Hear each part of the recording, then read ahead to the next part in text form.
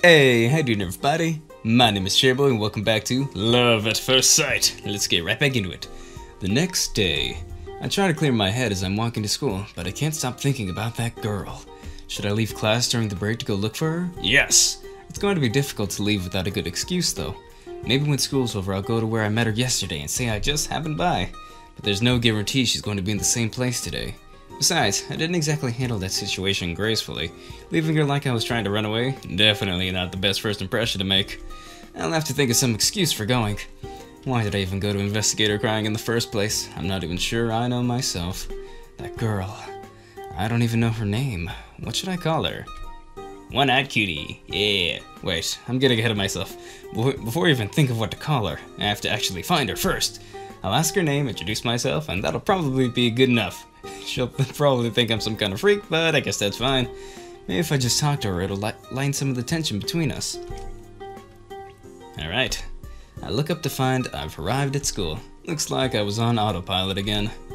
And we're climbing the stairs again. I get inside, change my shoes, and head up to the second floor where my classroom is. Alright, as I walk up the stairs, I see something strange moving out of the corner of my eye. What's there? Huh? Whoa, there she is! Ah, the waifu! Peeking around the corner of the connecting hallway is a head of brown hair. It's the girl I've been seeing in my mind all morning. I seem to be the only one who notices her head popping around the corner. She must think that pose will keep her totally hidden, as if she's in a manga or something, but she's really standing out. At least to me. She stands out. Okay, she's moving her eye around frantically, and sure enough, she picks me out from within the sparse crowd. I'm so surprised to see her. All I can think is, why is the first year student on the second year floor? Before she hurries up to me. Here. She hands me a familiar handkerchief. Handkerchief. That's right, I totally forgotten that I lent it to her yesterday. I take the handkerchief, which she folded neatly into a perfect square. I think she even washed it. Uh, yesterday, I mean, thank you. As soon as she says this in her tiny voice, she runs down the stairs and vanishes around the corner. Wait, don't go! Hold on, wait. I can't stop myself from calling out, but the morning bell rings, drowning out my voice for me. Oh well, I head to my own classroom. I think a better way to been, hold on, wait, okay, yeah, but the lunch bell rings. I stash my book in my desk and bolt out of the classroom. Let's go find her. I didn't even get to thank that girl for washing my handkerchief. I go to look for her to say what I wanted to earlier. I have a good excuse to talk to her now. I can't let this chance slip away. I arrive at the end of the hallway, but instead of going down to the first year classrooms, I head up the stairs. Climbing the stairs again. I don't know for sure, but I think there's a good chance she's going to be up where I met her yesterday. Well, even if she's not, I can just look elsewhere. I get to the third floor and keep going up, all the way to the stairs that lead to the roof. Hey. just like yesterday, she's sitting on the same step at the top of the stairs. I see her shoulders jolt when she hears my voice, and then she looks up at me. Her voice, her mouth is opening and closing rapidly. She clearly wants to say something but can't find the words. Kind of like in uh, Hinamatsuri.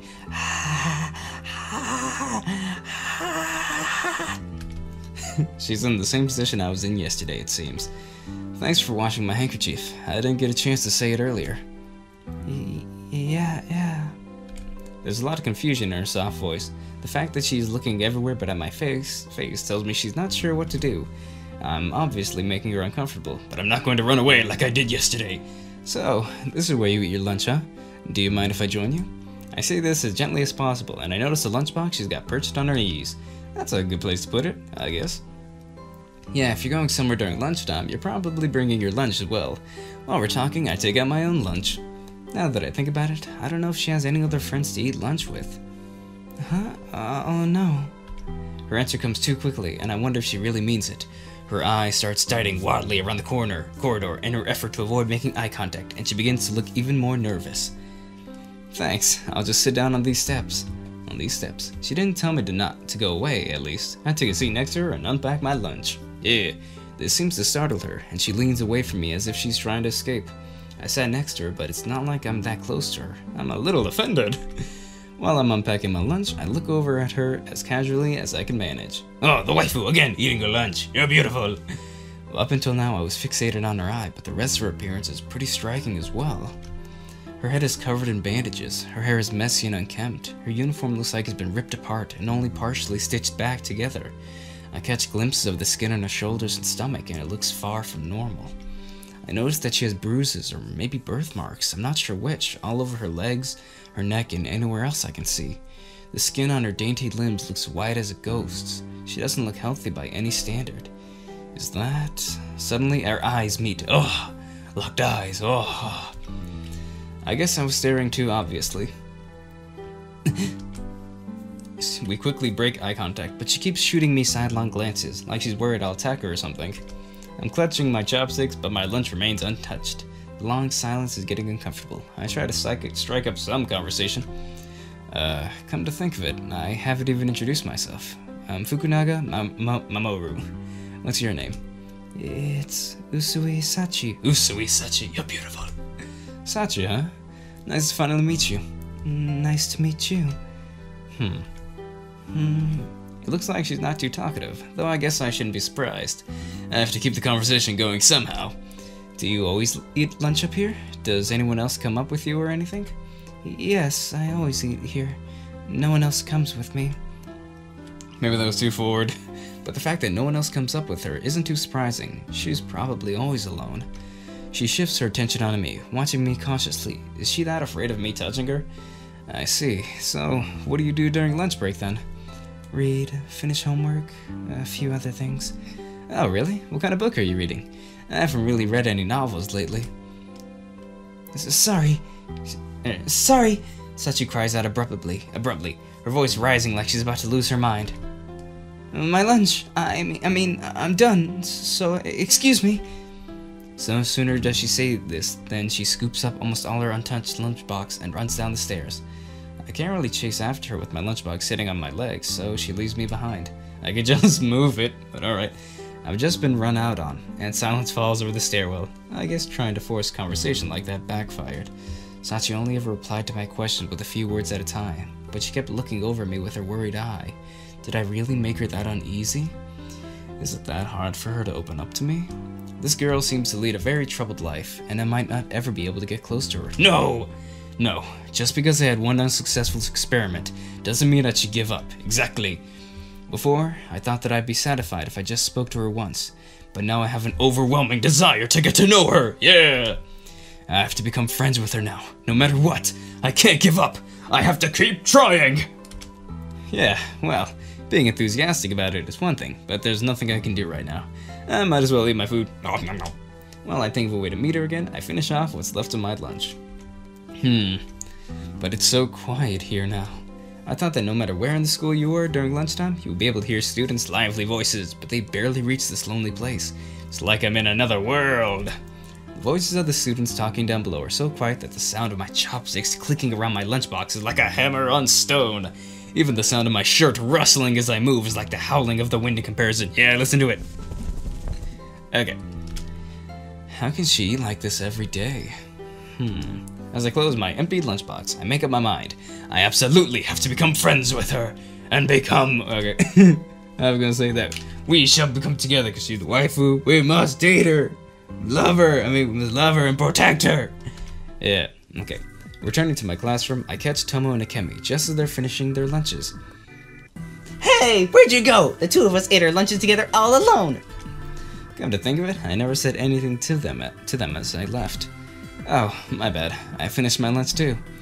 Where'd you run off to?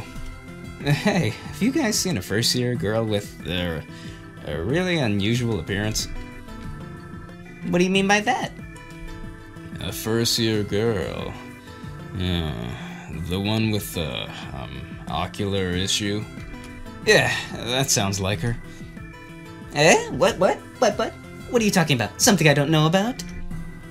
Oh, this probably isn't something you'd want to hear. It's not really a happy story. Wow, rude. You shouldn't keep things from your friends. And that's not what I meant, but. Anyway, why do you want to know about her? No reason. I just heard about her and got curious is all. Do you know her? Personally, no. I've seen her around, but I've never talked to her.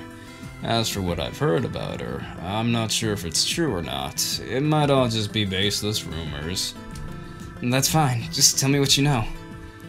Are you sure you really want to know? Tomo looks side to side like he wants to make sure no one else is listening.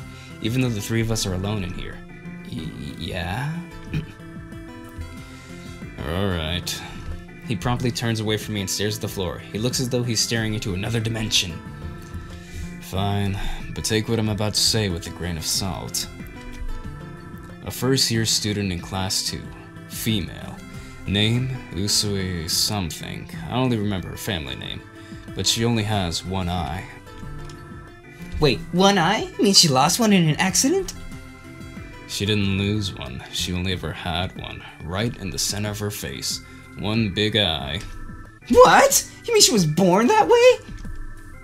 I don't know the details, but it seems that she was. I've only ever seen her from up far, but I really don't think that's an injury.